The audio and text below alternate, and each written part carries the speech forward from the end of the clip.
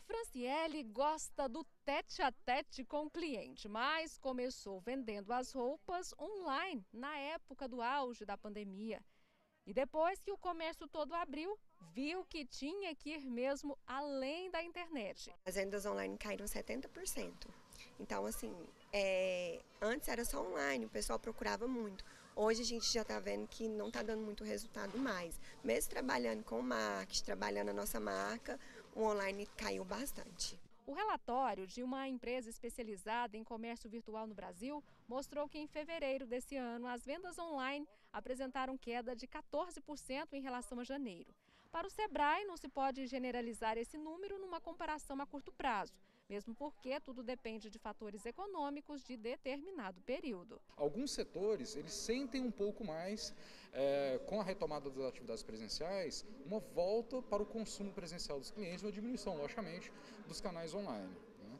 Isso pode ter impactos, pode ser um aumento do frete pelo aumento dos combustíveis, ou alguns que são mais é, perceptíveis, mais sensíveis, né? como a alimentação, a confecção também, que clientes têm uma parcela que gostam de ter a compra presencial, né? fazer uma experimentação presencial. A Janaína, por exemplo, passou a fazer produtos de beleza naturais na época que o comércio todo estava fechado vendia só pela internet. Mas os diferenciais mesmo, que são os desodorantes sem alumínio e sabonetes especiais para animais, só conquistaram o público depois que ela deu um jeito de oferecer no presencial. A gente tem essa questão do, dos clientes poderem ver o produto né, pessoalmente, ver o tamanho, a cor, sentir o aroma, né?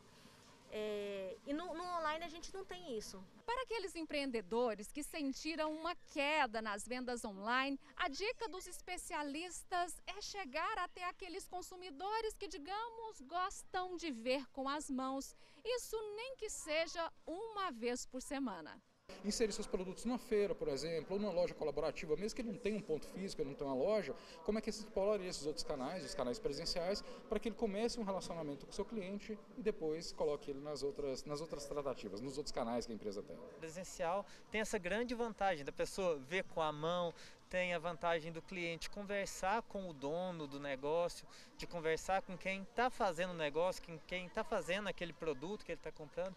Então é uma coisa muito mais próxima. As pessoas gostam disso, principalmente agora. É nesse contexto que um grupo de mulheres que vendia produtos em grupos de WhatsApp criou a Feira das Mães Empreendedoras, que acontece às sextas e sábados. Cada final de semana é revezado entre o setor Alto da Glória, Parque Flamboyant e o Parque Altamiro de Moura Pacheco. O povo quer sair de casa, sabe? Quer ver gente, quer saber o que está tendo de novidade aí nas lojas, nos comércios. E das feiras nós vimos sim esse resultado drasticamente. A Evânia criou até um Bento Vaz, uma ideia tendência. A gente vender assim diretamente ao público foi muito bom, sabe? É, porque a gente tem um contato né, diretamente com os nossos clientes, que nos abre grandes possibilidades de interação e também de vendas e aumento de renda.